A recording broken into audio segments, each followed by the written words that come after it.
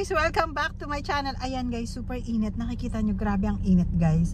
I wanna share guys today. Guys, share ko lang sa inyo yung farm namin.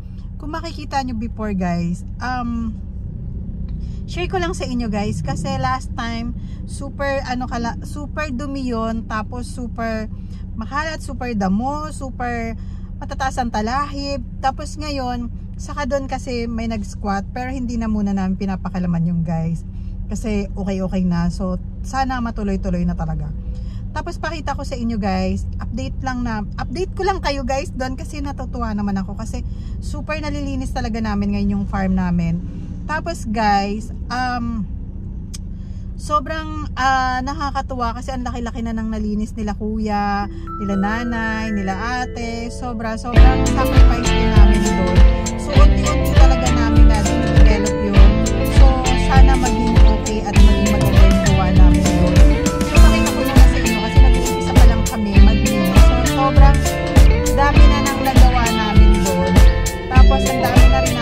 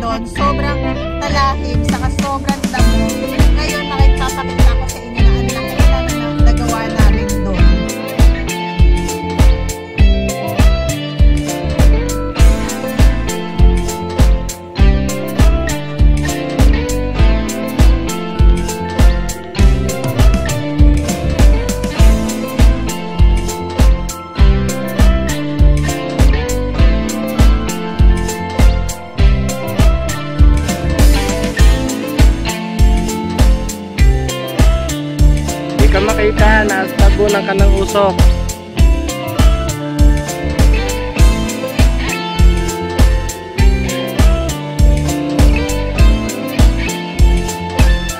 Dapat nagdala ka ng wali.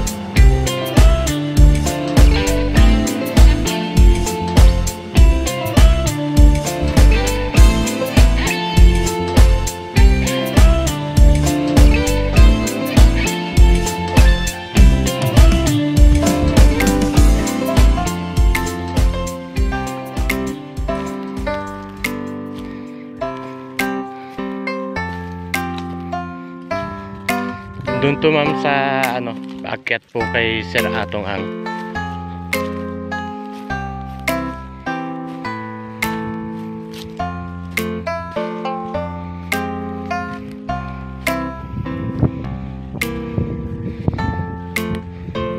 Kaya lang hanggang dito lang ma'am. Tinigil ko na at baka mawasak yung ating grass cutter. Kailangan palitan ng case.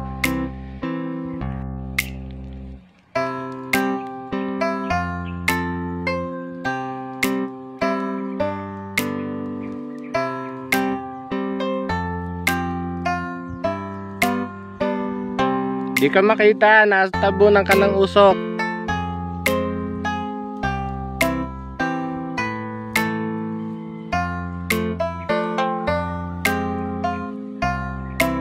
Dapat nagdala ka ng walis.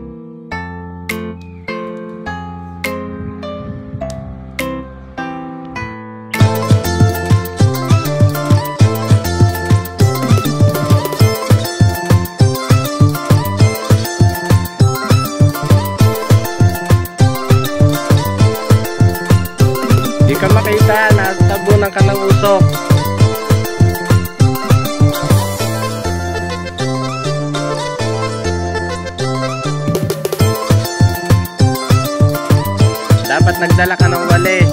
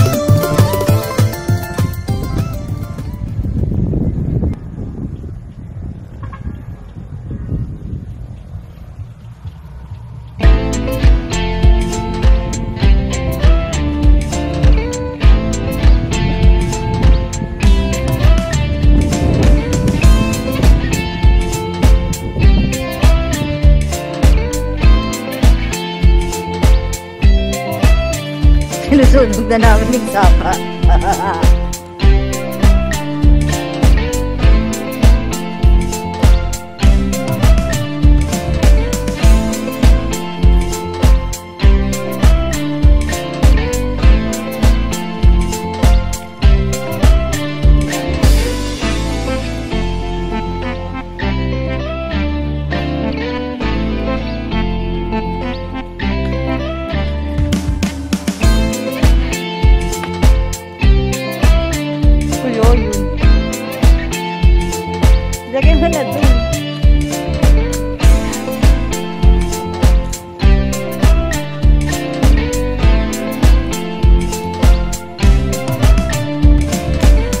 Mamaya malakas hangin yan, dire-dire.